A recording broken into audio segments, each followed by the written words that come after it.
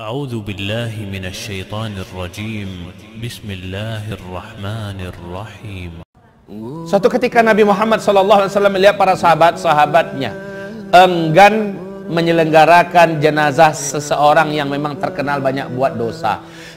Nyentuh pun nggak mau sahabat, udah ninggal, tapi nggak ada yang mau mandiin, nggak ada yang mau mengapani, tidak ada yang mau menyolatkan apalagi, ya, apalagi mengantarkan ke pusara, ke pemakaman.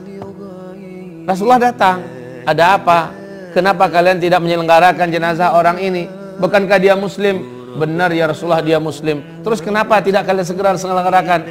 Ya Rasulullah, selama hidup yang kami kenal orang ini dosa yang dia buat dosa, dosa, dosa, dosa, dosa, dosa dan dosa. Hampir-hampir kami tidak pernah melihat dia di antara ahli kesolehan di masjid. Mana pernah ya Rasul? Puasa kami nggak dengar dia tuh orang puasa. Dia hanya mengandalkan asyhadu an la ilaha illallah asyhadu anna muhammadar rasulullah. Tapi ya Rasulullah dosa ini dia buat, dosa itu dia buat, dosa itu dia buat. Semua dosa yang dalam Islam dia buat. Kata Rasulullah bertanya, ada enggak di antara kalian sekali aja jadilah pernah melihat dia melakukan suatu amal soleh setelah dia masuk Islam? Salah seorang sahabat angkat tangan. Saya tahu ya Rasulullah. Apa kata Rasul? Dia dengan saya pernah dulu ronda, ronda, jaga-jaga dalam bahasa hadis. Kami sama-sama satu malam ribat bareng. Ribat, bukan ribat ya, ribat. Kami pernah ribat bareng.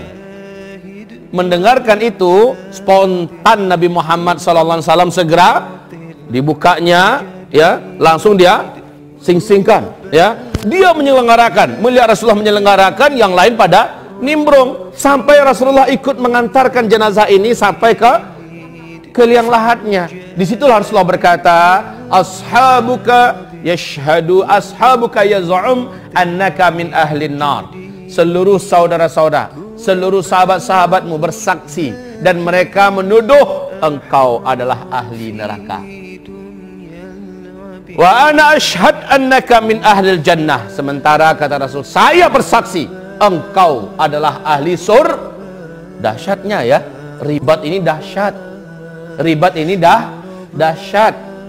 Indonesia sebentar lagi nih. Mau nggak mau Pak? Indonesia sebentar lagi. Bapak ikut ribat doang ah, udah mentep. Jangan diminta-minta, penyakit jangan di diminta-minta. Tapi kalau sudah terjadi jangan sempat lari. Ya, ribat sebentar lagi akan banyak peluang-peluangnya di ujung. Dari Sabang sampai Merauke no. Hah? Setiap provinsi se-Indonesia akan ramai ada ribat. Kalau 98 itu bukan ribat loh, Pak. 98 dulu ketika krisis moneter jatuhnya Pak Harto, ya kan? Lalu banyak orang ronda jaga-jaga kampung, gitu kan?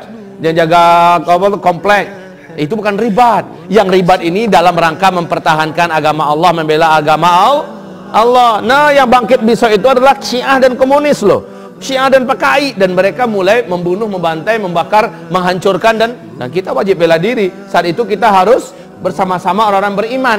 Lah yang bangkit dalam jadwal dia ronda, lalu dia terbunuh di situ dia ribat.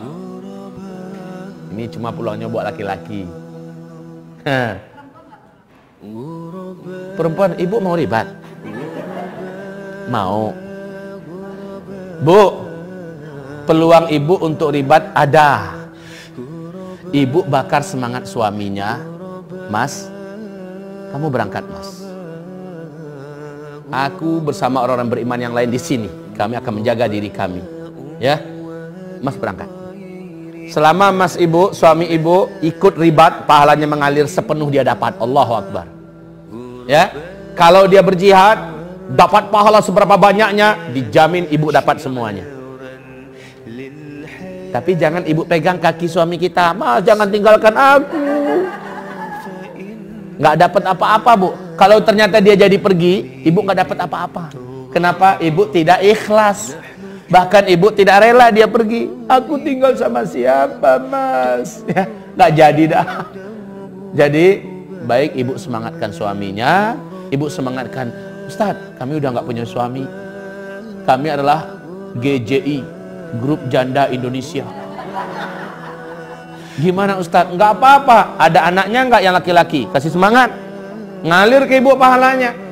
Ada menantunya enggak yang laki-laki? Kasih semangat anak perempuan kita supaya suaminya juga dilepas. Ya, kasih semangat. Jadi yang para ibu-ibu bakar semangatnya. Ustaz, menantu enggak punya, anak laki-laki enggak punya. Gimana? Biayain orang yang mau. Gitu caranya. Maka dapat pahalanya semua. Subhanallah. Ya, siap-siapkan dari sekarang. Enggak lama lagi loh.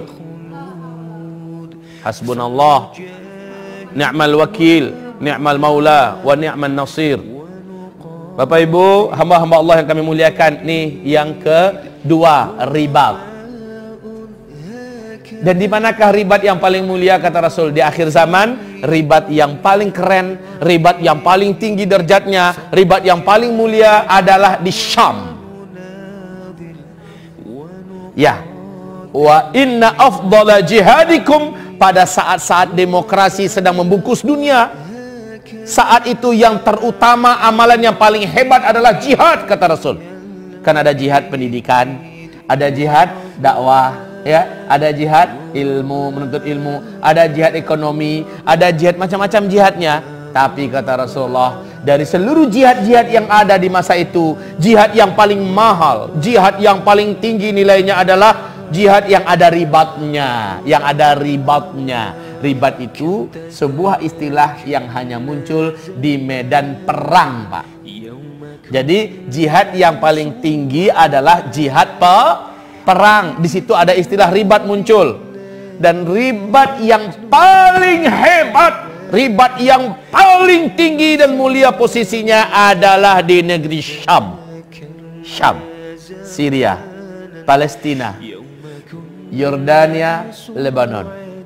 Sekarang dari seluruh Syam jihad yang paling hebat nanti dan paling tinggi ribatnya adalah di Askalan.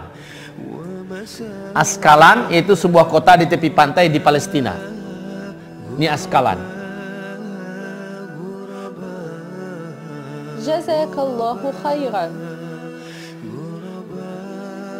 Jazak Allahu khairan.